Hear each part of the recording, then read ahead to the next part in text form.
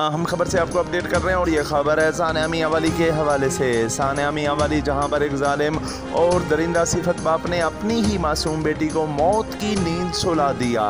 ये वाक़ इस वक्त पूरी दुनिया में सोशल मीडिया के ऊपर वायरल है। आपको बताते चलें, इस वक्त सोशल मीडिया के ऊपर खबर चल रही है कि इस मासूम बच्ची की माँ मजबूर हो चुकी है और वो दूसरी शादी करने पर मजबूर हो गई है।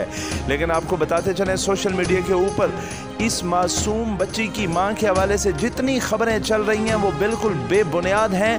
वो गलत हैं, उनका हकीकत से कोई ताल्लुक़ नहीं। वो मोहतरमा किसी भी हवाले से कोई मजबूर नहीं हुई। मजबूरी की खबर बिल्कुल बेबुनियाद और मन घड़त है।